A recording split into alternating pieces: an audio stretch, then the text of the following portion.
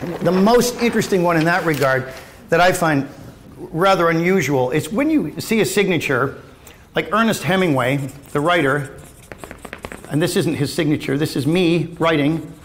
and none of this is my typical writing, so if I make bizarre things in it, you, you they don't count. They only count if it's your typical writing. Hemingway used to underline his signature.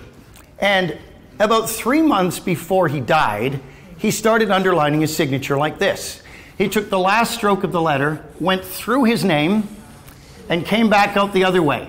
This is such a distinctive stroke in graphology, it has a name. It's called the bullet through the head stroke. Actually, it's even more specific. It's called the rifle bullet through the head stroke. It's that specific. And of course, Hemingway shot himself through the head with a rifle.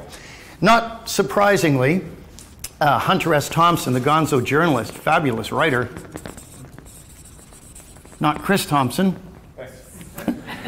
He's also a fabulous writer. Hunter S. Thompson used to underline his signature.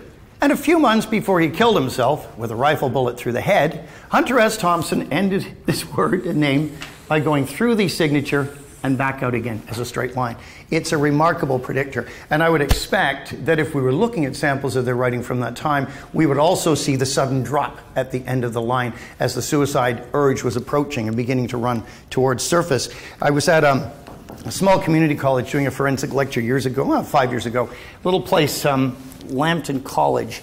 And afterwards, I worked with a lot of the kids. I do a 20 minute lecture, and then they line up, and we do one kid after another 60, 100 samples, bang, bang, bang, bang, just one after another. And it got me to get the chops to be pretty quick with it. And then after everyone was gone, I was packing up. And this one guy comes over, he's the custodian. And he's about 45, and the guy's stocky, powerful looking guy, a lot of scars. And he's got tattoos that are not the nice, neat, pristine ones I have, but they're clearly jail art. Don't you know, ballpoint pen, a razor blade, this kind of thing. And he said, uh, Would you look at my writing? I said, Sure. So we sat down, gave me a sample of his handwriting he'd prepared, and it had the suicide drop in two of the lines. And his signature had the rifle bullet through the head stroke. The only time I've actually seen it. And I said, Bro, I said, uh, You got any guns in your house? He said, Yeah, I got a few. I said, um, You ever think of using them on yourself? He said, Crosses my mind from time to time. I said, Buddy, you've got to get some help. And explain the whole thing to him. I didn't hear of anything happening to him, so I can only hope he took it um, to heart. But these, these are remarkable predictors that will tell you so much of what's going on in someone's mind.